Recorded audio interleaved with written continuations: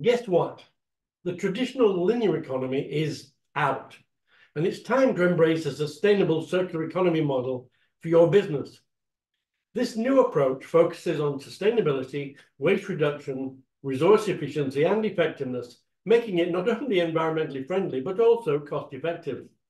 So why stick to the old ways when you can revolutionize your business and make a positive impact on the planet at the same time?